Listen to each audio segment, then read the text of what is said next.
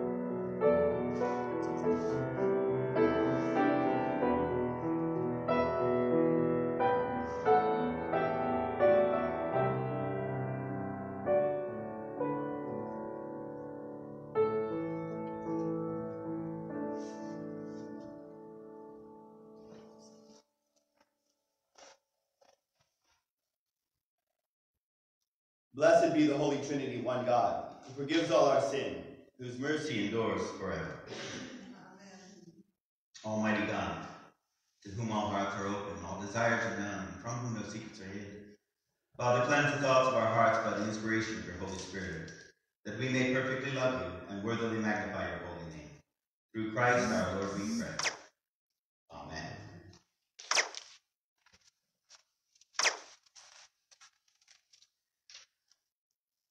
Remembering the account we must all one day give, let us humbly confess our sin in the presence of God and of one another.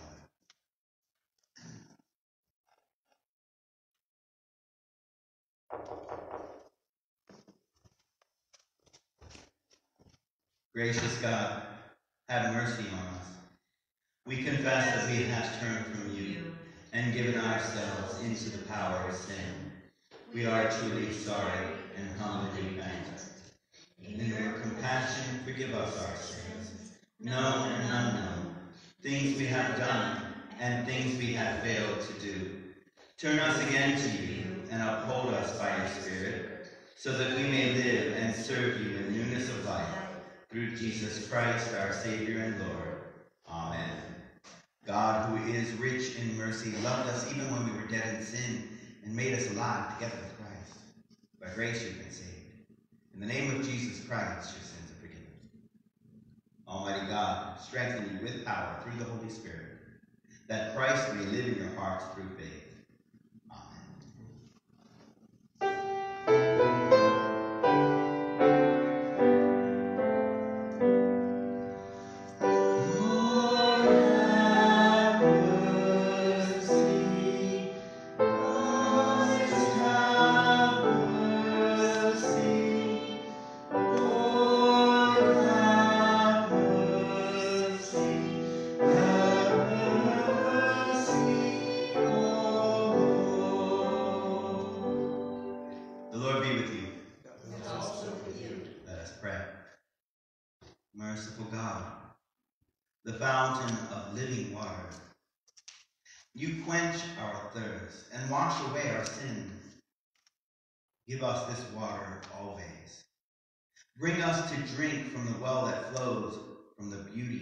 truth, through Jesus Christ, our Savior and Lord, who lives and reigns with you and the Holy Spirit, one God, now and forever.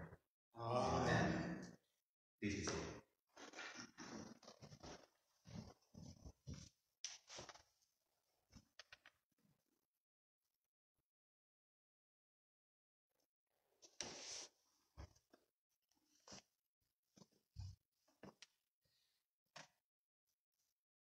Because the thirsty Israelites quarreled with Moses and put God to the test, Moses cried out in desperation to God. God commanded Moses to strike the rock to provide water for the people. The doubt filled question, Is the Lord among us or not? received a very positive answer. A reading from the book of Exodus. From the wilderness of sin, the whole congregation of Israelites journeyed by stages as the Lord commanded. They camped at Rephidim, but there was no water for the people to drink. The people quarreled with Moses and said, Give us water to drink. Moses said to them, Why do you quarrel with me? Why do you test the Lord? But the people thirsted there for water, and the people complained against Moses and said, why did you bring us out of Egypt to kill us and our children and livestock with thirst? So Moses cried out to the Lord, What shall I do with this people?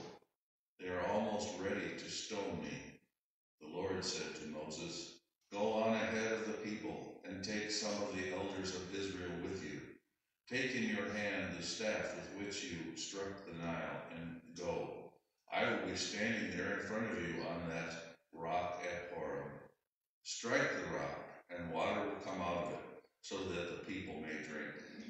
Moses did so in the sight of the elders of Israel.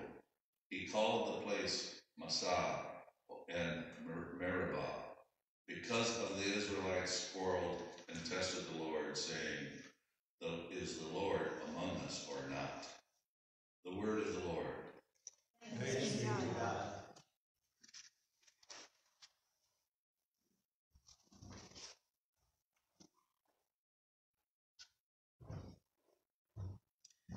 The 95th Psalm. Excuse me.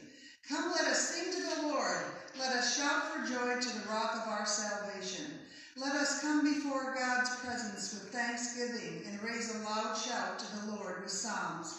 For you, Lord, are a great God and a great ruler above all gods. In your hand are the caverns of the earth. The heights of the hills are also yours. The sea is yours, for you made it and your hands have molded the dry land. Come, let us worship and bow down. Let us kneel before the Lord our Maker. For the Lord is our God, and we are the people of God's pasture and the sheep of God's hand. Oh, that today you would hear God's voice. Harden not your hearts as in Meribah, but as on that day at Massah in the desert. There your ancestors tested me they put me to the test, though they had not seen my works. Forty years I loathed that generation, saying, The heart of this people goes astray. They do not know my ways. Indeed, I swore in my anger, they shall never come to my rest.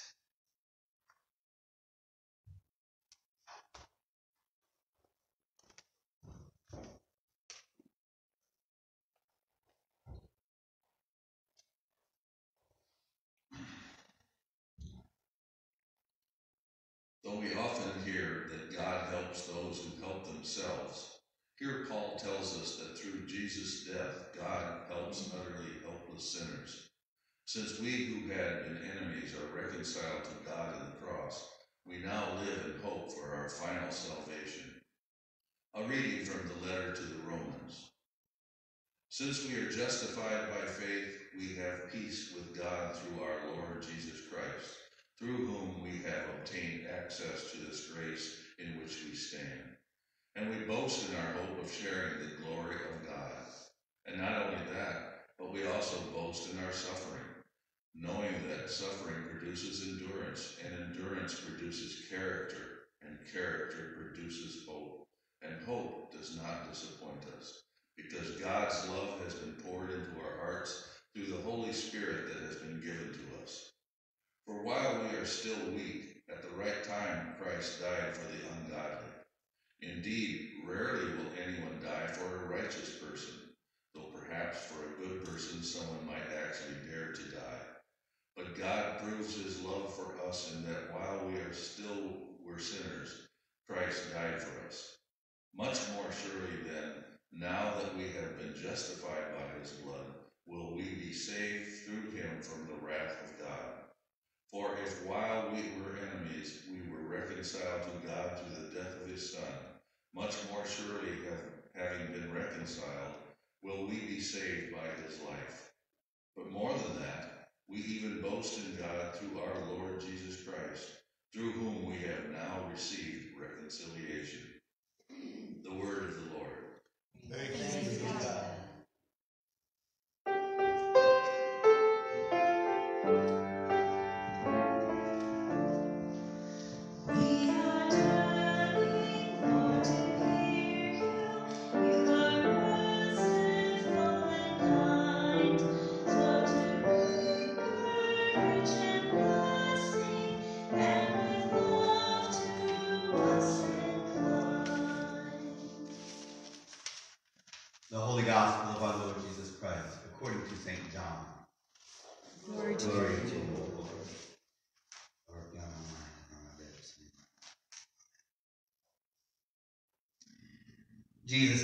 Samaritan city called Sychar, near the plot of ground that Jacob had given to his son Joseph.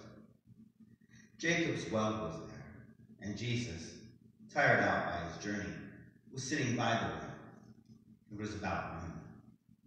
A Samaritan woman came to draw water, and Jesus said to her, Give me a drink. His disciples had gone into the city to buy food. The Samaritan woman said to him, How is it that you, a Jew, ask a drink of me, a woman of Samaria? Jews do not share things in common with Samaritans. Jesus answered her, If you knew the gift of God and who it is that is saying to you, Give me a drink, you would have asked him, and he would have given you living water. The woman said to him, Sir, you have no bucket, and the well is deep. Where do you get that living water? Are you greater than our ancestor Jacob, who gave us the well, and with his sons and his flocks drank from it? Jesus said to her, Everyone who drinks of this water will be thirsty again. But those who drink of the water that I will give them will never be thirsty. The water that I will give will become in them a spring of water gushing up to eternal life. The woman said to him, Sir, give me this water, so that I may never be thirsty or have to keep coming here to draw water. Jesus said to her, Go, call your husband and come back. The woman answered, I have no husband. Jesus said to her, You are right in saying, I have no husband. For you have had five husbands, and the one you have now is not your husband. What you have said is true. The woman said to him, Sir, I see that you are a prophet. Our ancestors worshipped on this mountain, but you say that the place where people must worship is in Jerusalem. Jesus said to her, Woman, believe me. The hour is coming when you will worship the Father neither on this mountain nor in Jerusalem. You worship what you do not know. We worship what we know, for salvation is from the Jews. But the hour is coming, and now is here, when the true worshippers will worship the Father in spirit and truth, for the Father seeks such as these to worship him. God is spirit, and those who worship him must worship in spirit and truth. The woman said to him, I know that Messiah is coming, who is called Christ. When he comes, he will proclaim all things to us. Jesus said to her, I am he, the one who is speaking to you. Just then his disciples came. They were astonished that he was speaking with a woman, but no one said, What do you want? or Why are you speaking with her? Then the woman left her water jar and went back to the city. She said to the people, Come and see a man who told me everything I have ever done. He cannot be the Messiah, can he? They left the city and were on their way to him. Meanwhile, the disciples were urging him, Rabbi, eat something.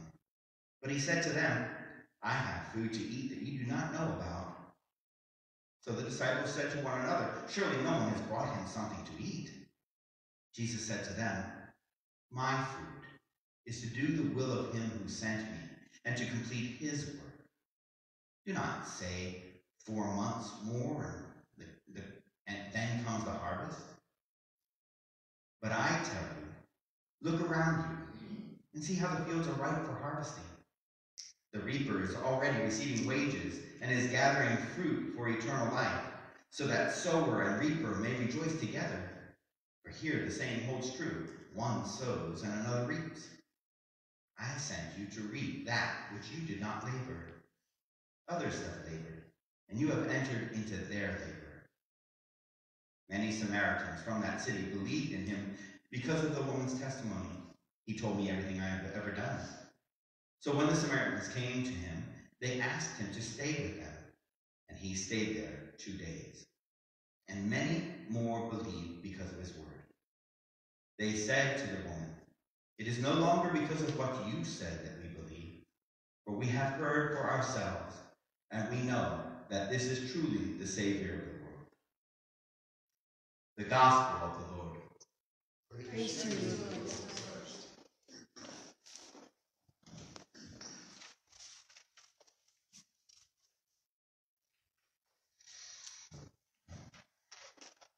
Father, may the words of my mouth and the meditation of all of our hearts always, always uh, be in our hearts and mind. Lord Father, we pray this in Christ's holy name. Amen. Please be seated. I hate messing up words that I've said every single week for how long? Oh.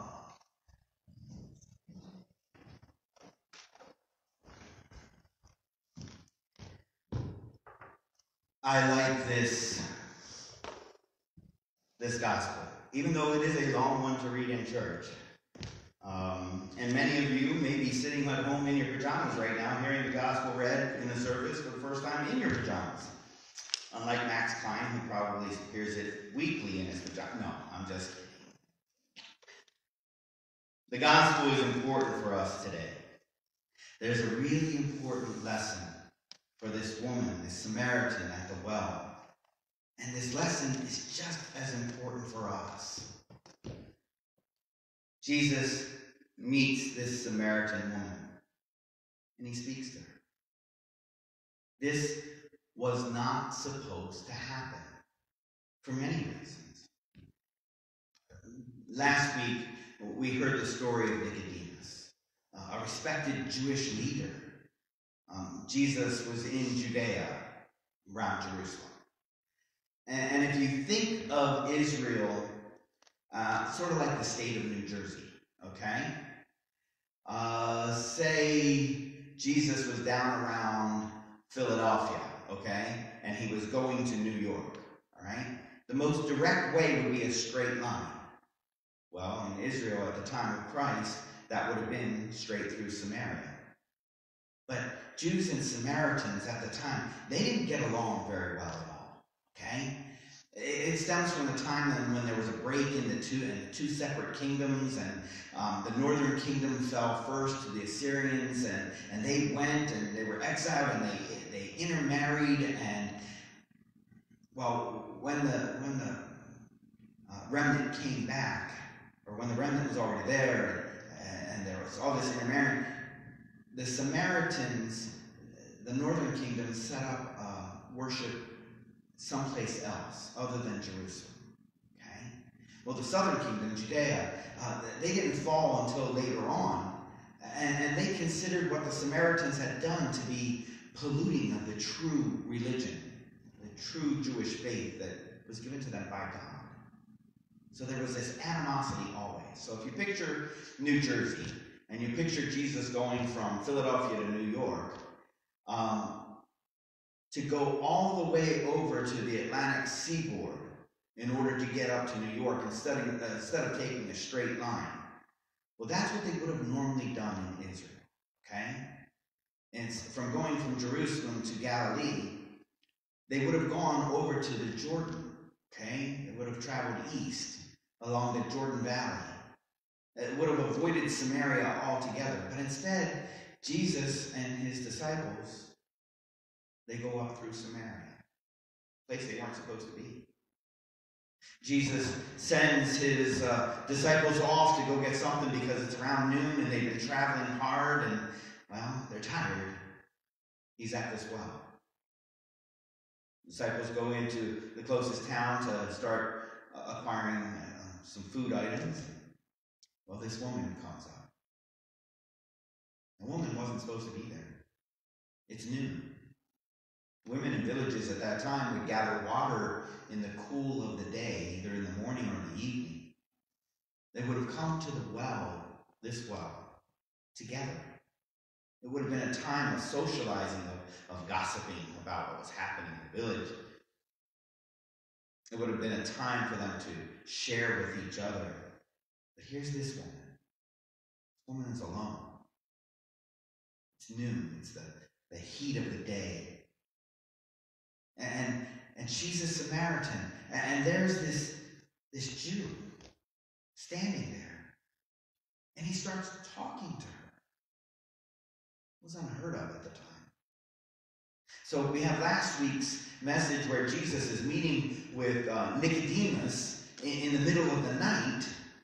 And now this week we have Jesus meeting with probably who was direct opposite of Nicodemus, a female Samaritan, there in the middle of the day.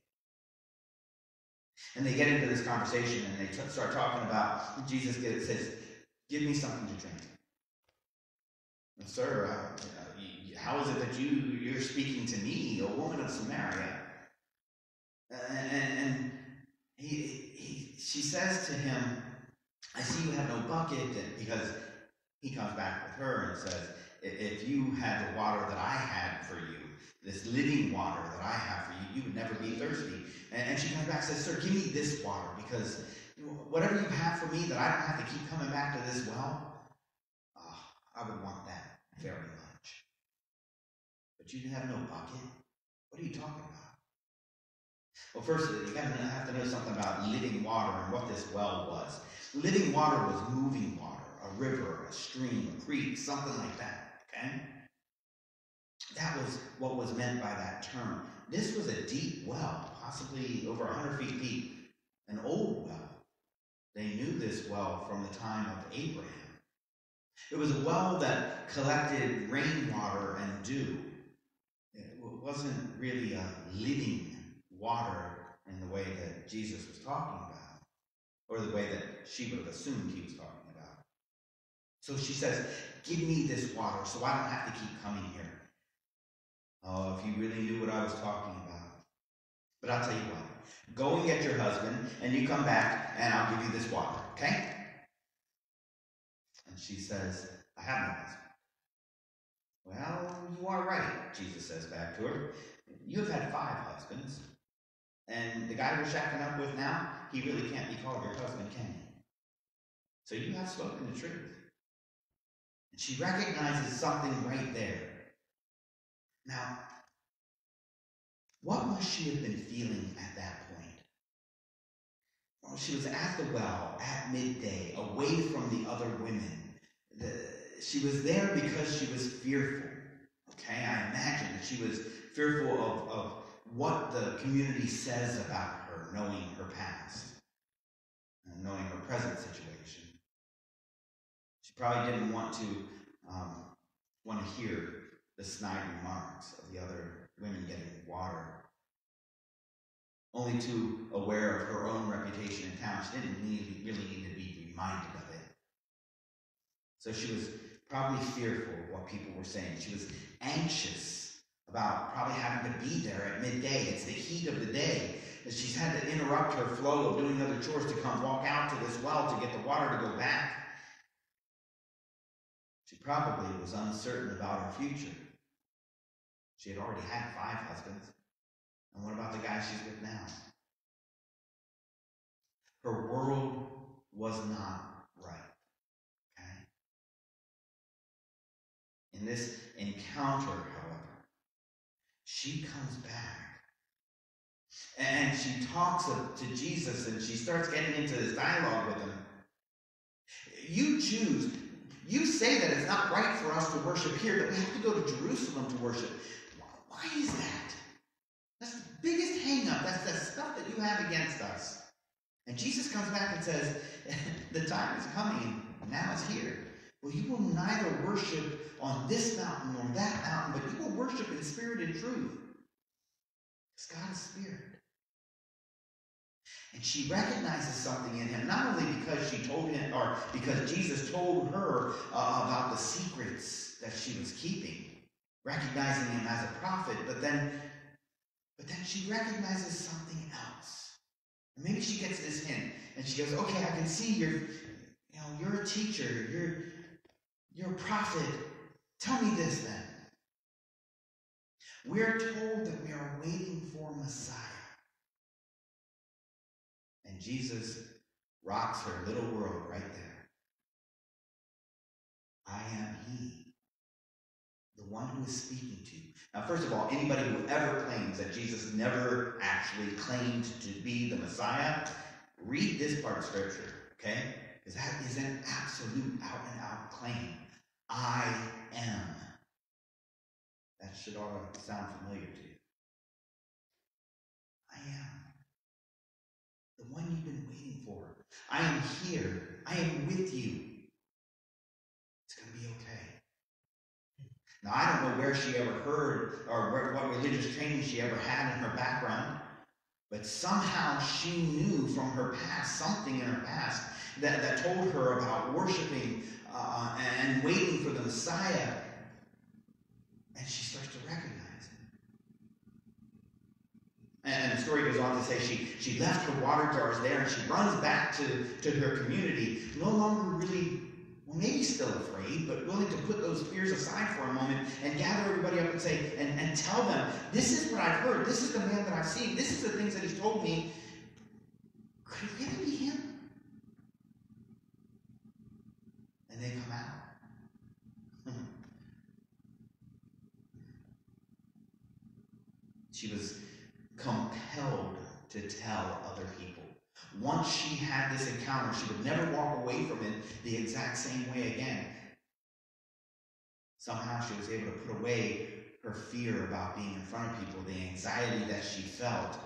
Could it be that her world was being set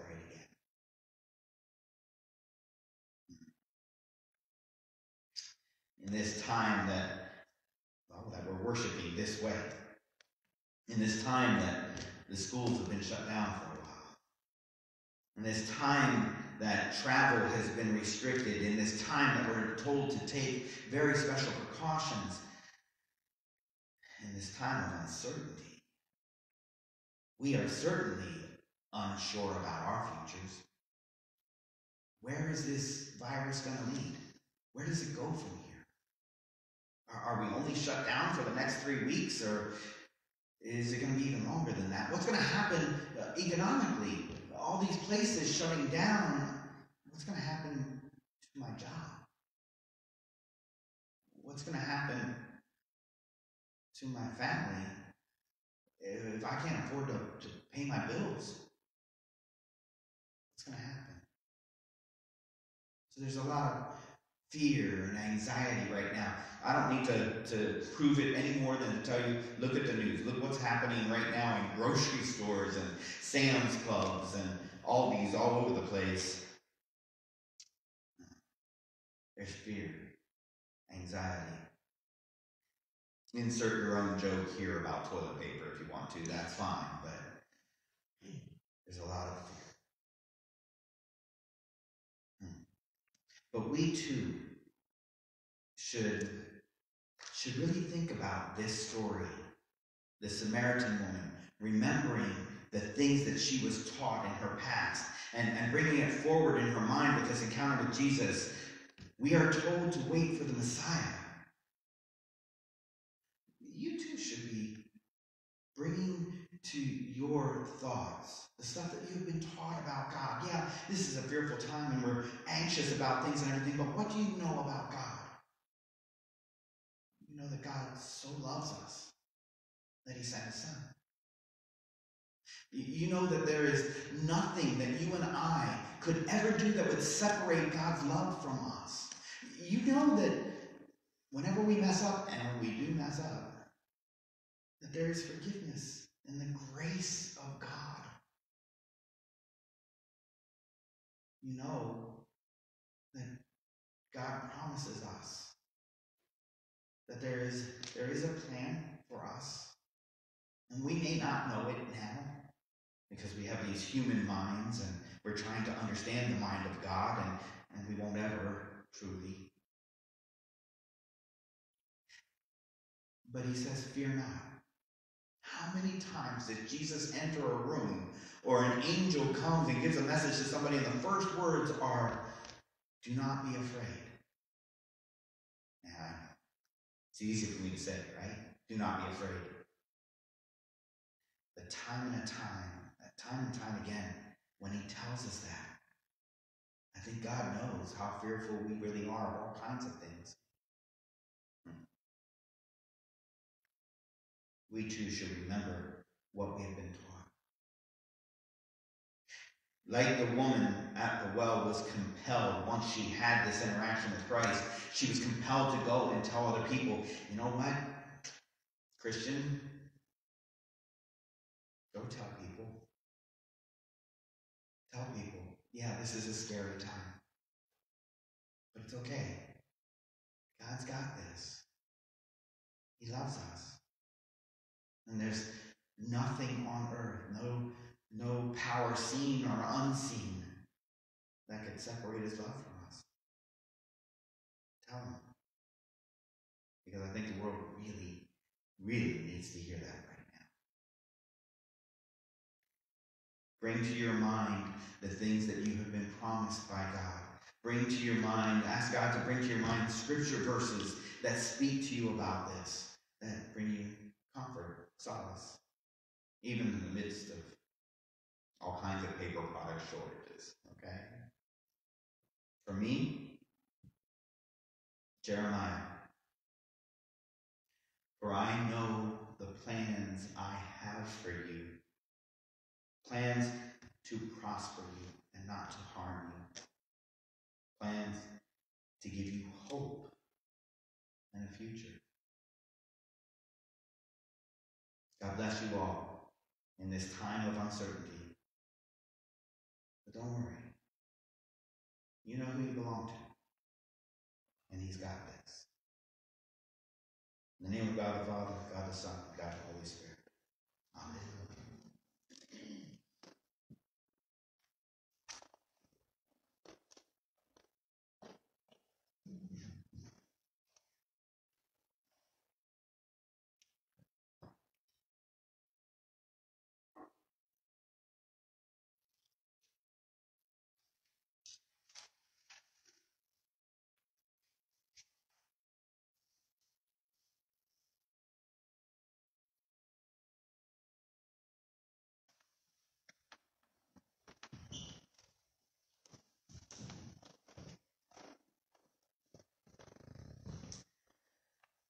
And now we use the words of the Apostles' Creed to reaffirm our faith every time we say, I believe in God, the Father Almighty, creator of heaven and earth.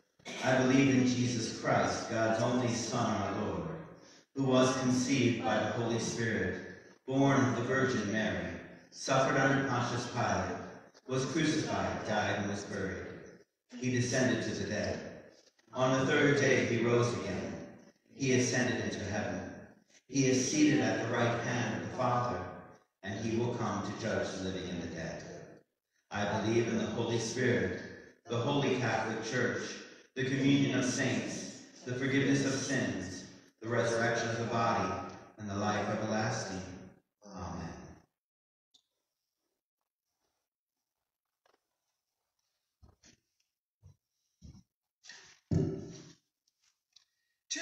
Hearts to God, who is gracious and merciful, we pray for the church, the world, and all who are in need. God of living water, strengthen our voices that all people can know and believe that Jesus is truly the Savior of the world. We pray for the people of Trinity Lutheran Church in Millsburg and the Reverend F. Lorraine Sundin.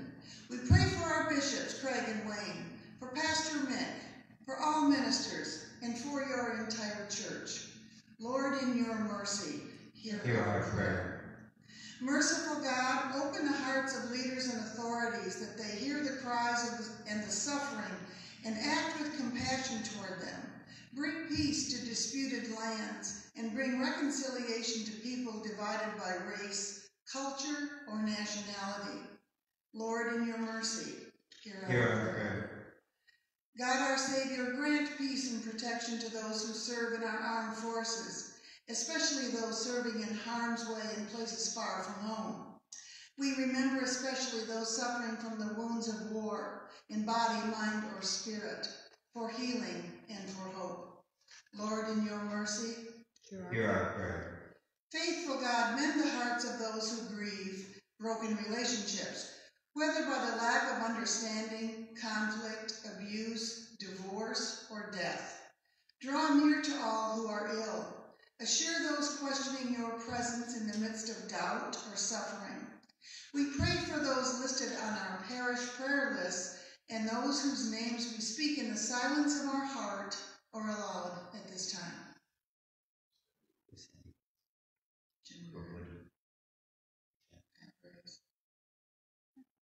Lord, in your mercy, Hear our prayer. ever present God, renew us in the promise of baptism. Join us together in worship, fellowship, and sharing your good news. Give us the courage to defend our faith. Embo- Embolden us to proclaim the good news as we serve others and work for justice and peace. Lord, in your mercy, Hear our prayer. we ask you to heal those who are infected with the coronavirus, to protect those who are well, and to prevent its spread. We ask you to bless and protect the caretakers and medical personnel and everyone on the front lines trying to help. We pray for the scientists who are working on vaccines. For those who've lost loved ones, we ask you to comfort and heal their hearts. Infuse us with courage and faith to overcome our fears and open our awareness to your healing presence that always, always surrounds us. Lord, in your mercy. God of living water, we thank you for those who endured suffering and who now boast in the glory of God. Pour your Holy Spirit into our hearts and give us peace as we live in the hope of our salvation. Lord, in your mercy, Hear our prayer. according to your steadfast love, O God, hear these and all our prayers as we commend them to you through Christ our Lord. Amen.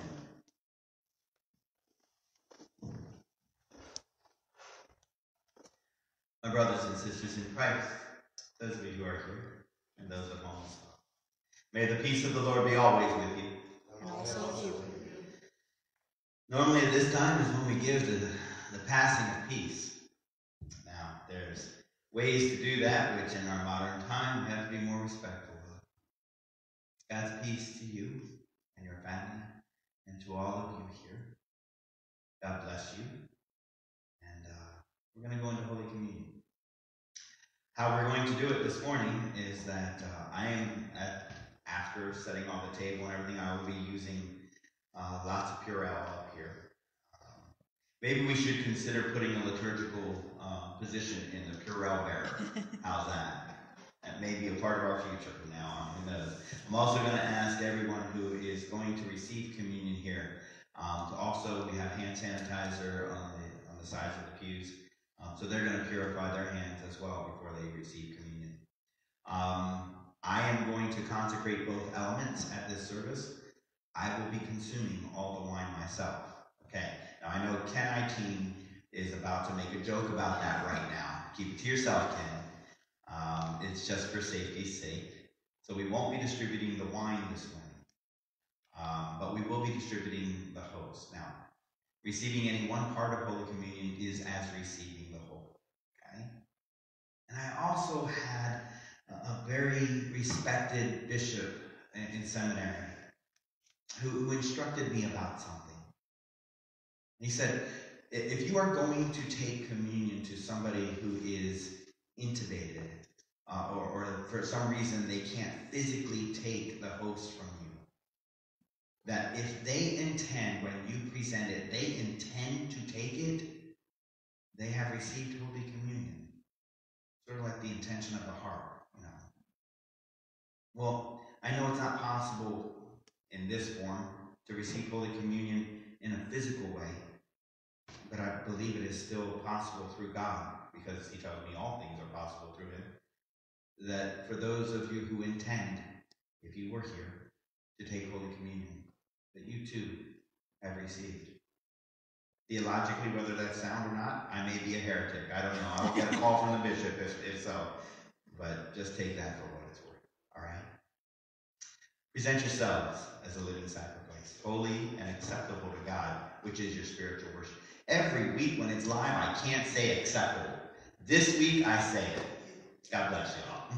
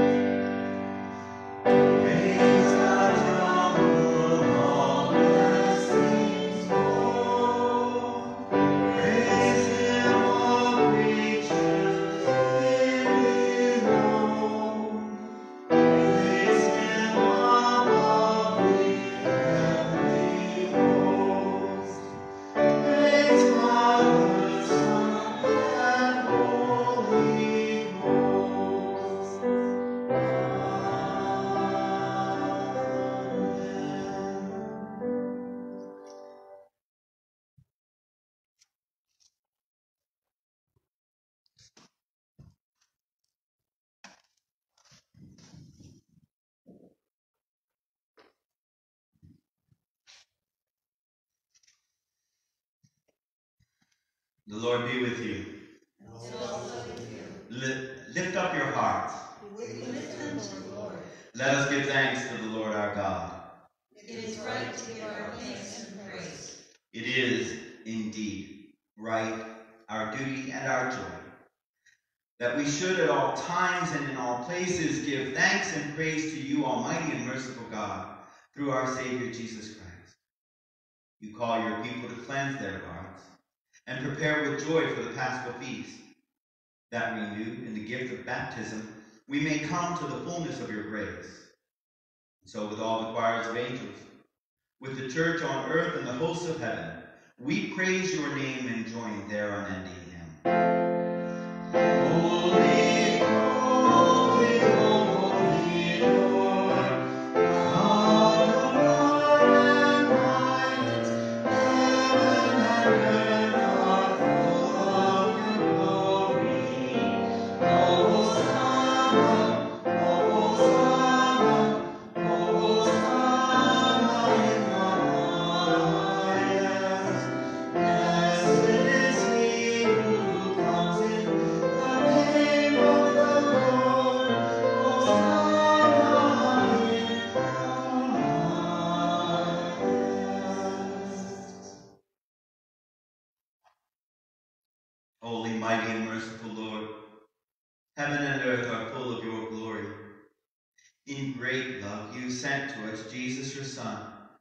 reached out to heal the sick and suffering, who preached good news to the poor, and who on the cross opened his arms to all.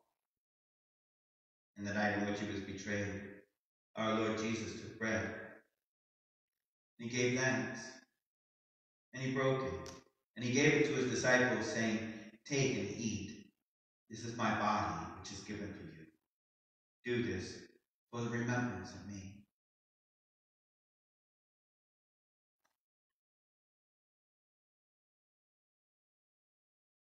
Again, after supper, he took the cup, gave thanks, and gave it to all to drink, saying, This cup is the new covenant in my blood, shed for you and for all people for the forgiveness of sin. Do this for the remembrance of me.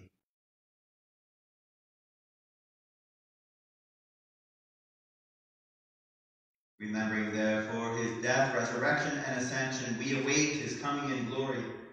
Pour out upon us the spirit of your love, O Lord, and unite the wills of all who share in this heavenly food, the body and blood of Jesus Christ our Lord, to whom with you and the Holy Spirit be all honor and glory, now and forever. Amen. And now, in the words our Savior has taught us, we are bold to pray. Our Father, who art in heaven, hallowed be thy name. Thy kingdom come, thy will be done, on earth as it is in heaven. Give us this day our daily bread, and forgive us our trespasses, as we forgive those who trespass against us. And lead us not into temptation, but deliver us from evil. For thine is the kingdom, and the power, and the glory, forever and ever. Amen.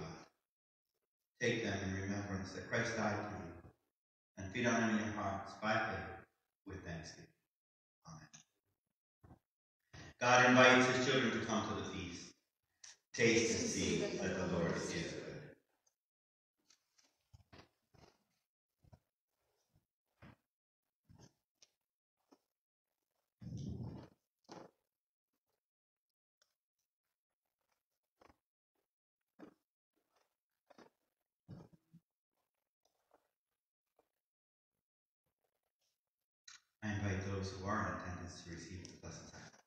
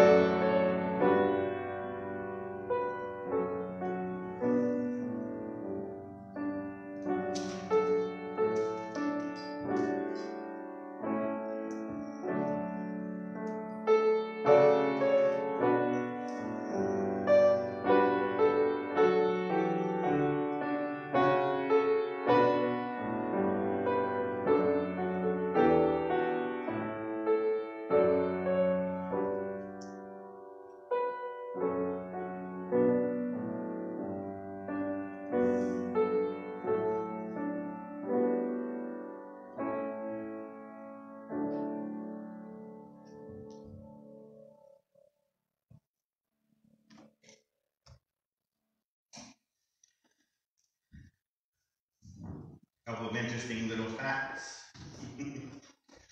the orans position is when the priest or pastor is holding his hands out like this for communion, and many times a priest will uh, or pastor will hold his fingers in this.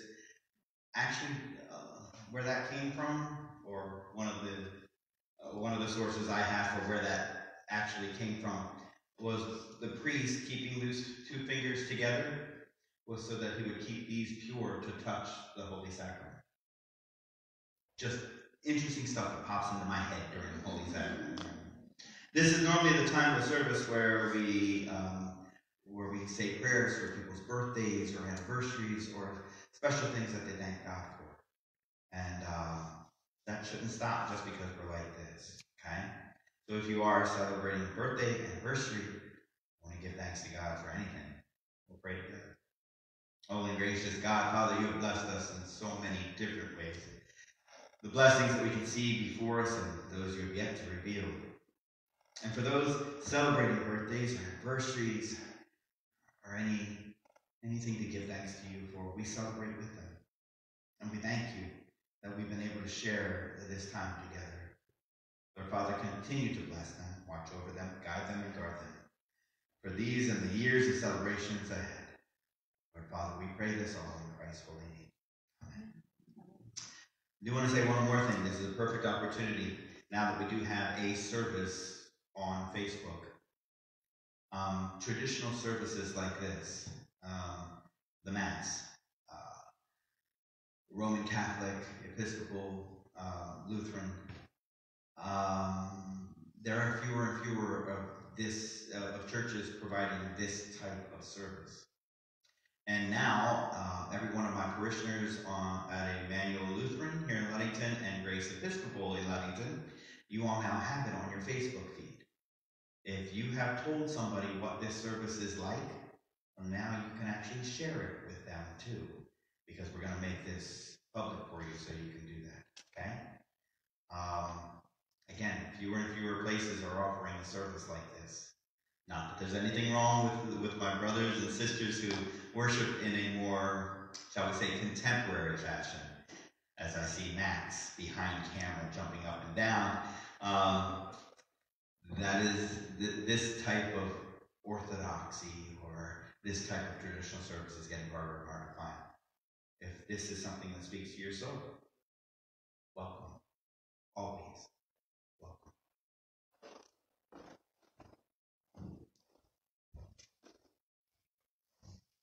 Let us pray together the post communion prayer. We thank, Thank you, living God, for for the body and blood of your Son, which sustains us in the wilderness and the garden of life. As Christ has loved us in this feast, so send us to love Christ in our neighbors. In Jesus' name we pray. Amen. Now is the acceptable time. Now is the day of salvation. May the God of forgiveness and peace bless you in the name of God the Father, God the Son, and God the Holy Spirit. Unbind you and send you forth